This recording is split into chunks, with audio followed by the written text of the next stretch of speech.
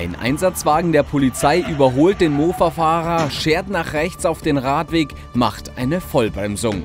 Der Mofa und Mitfahrer haben keine Chance, krachen auf das Heck des Vans.